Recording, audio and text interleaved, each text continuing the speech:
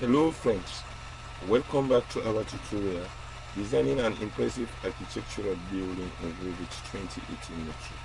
If you have been following along, go and open the file 00 underscore 013 underscore DIAB underscore M where you save it. You can also download this file from the website. In today's tutorial, we're going to create a floor for our project. Click the File tab and hover the mouse cursor to save as. Select Project. Rename this file to 00 underscore 014 underscore DIAB underscore M and click the Save button. Double click the ground floor plan view to open the ground floor plan. Go to the Architectural tab, Building panel and select the Floor command. In the Draw panel, click the Pick Line button. Avoid zooming into this area. Hover the mouse cursor into this wall and press Tab key. Click to select. You see the wall goes to the center of the the wall. Now click the undo command. Select the pick line button again and enter offset distance of 75 now hover the mouse cursor into this wall hover the mouse cursor into this wall and press the tab key. Click. If you don't if you, you find it difficult to use this method you can click the wall one by one. Select the trim extend to corner select this wall and this wall. Click the modify button. Hover your mouse cursor into this sketch line and press the tab key. Click. Hit delete on your keyboard select the pick line button in draw panel zoom in into this area and pick this wall. Pick the face of this wall. This wall. Repeat the same thing over here. Pick the face of this wall. Select the split element command. Make sure that the delete inner, shape inner segment is checked. Click to this area and click to delete this inner segment. Click to delete this get line zoom out select the pick line button hover the mouse cursor into this wall and press the tab key. Enter offset distance of 75 hover the mouse cursor to this wall again. Press the tab key. Press the tab key until the entire wall highlighted. Click. Again if you, you can't use this method you can select the walls one by one.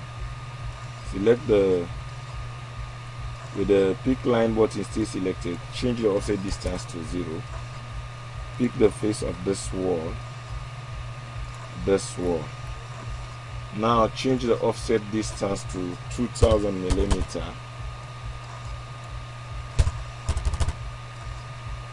Pan the drawing up. Pick the face of this wall, this wall, the face of this wall, the face of this wall and the face of this wall click the pick line pick line command and change the offset distance to 1400 millimeter. Click into the empty area. Click this wall this wall this wall this wall. Select the trim extend to corner select this line and this line this line this line this sketch line and this sketch line select this sketch line this sketch line this sketch line and this sketch line select this sketch line and this sketch line select this sketch line hit delete key delete this sketch line select this sketch line and hit delete hover your mouse cursor to this sketch line and press the tab key click to select hit the delete key use a window to draw a short sketch line under this sketch line hit delete. Zoom out to see the entire floor. Click the green check mark. We have an area that doesn't close so Revit complain click continue. Zoom in into this area. Click the pick line button in the draw panel and click the surface of this wall click the green check mark. Click continue select the trim extend to corner select this object and this line Revit continue to complain until you address all of the issue before it allow you to complete the process. Click the modify button. Now the floor is being drawn. But the floor that we have, this is not the floor that we need.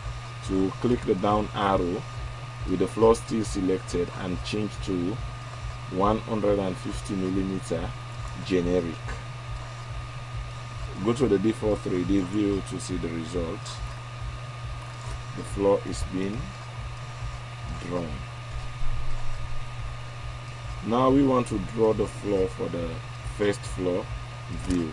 To do that, select this floor, select copy, click the down arrow, align to the selected level, and select the first floor view. Click paste. Now click the edit command, double click the first floor to open that view, and click the align command, zoom in into this area, click the core face of this wall and align this object to that face. Select the face of this wall and zoom in and align this object select the select the face of this wall align this object. Select the face of this wall and align this object. Select the pick line button. Click to place a sketch line into this wall. Select the split element. Split this wall and select the align command. Click the face the face of this wall and pick this button. Click cancel Revit complain. Click the modify button. Select this sketch line and hit delete on your keyboard. Select the pick line button. Click the face of this wall select the trim extend to corner. Select this object and this object. Select the align command. Change the offset to 1400 millimeter offset this face into this direction and change the offset distance to zero and pick the face of this object and the face of this object. Now select the trim extend single element click this object and extend this object.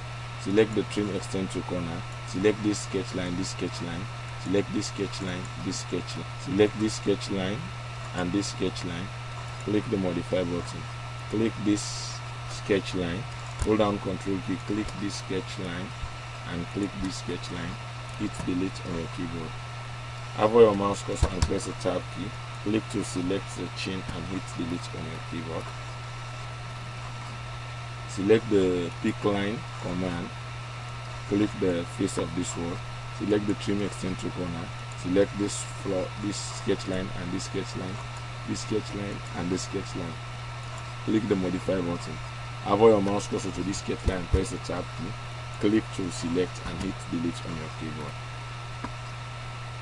click the green check mark click continue to close this area select the trim extend to corner select this sketch line this sketch line click the green check mark Revit ask you if you like to you like the wall that goes up to this floor level to attach at its bottom select yes some of the wall this disobey will just click detach and it's done. Go to the default 3D view to see the result.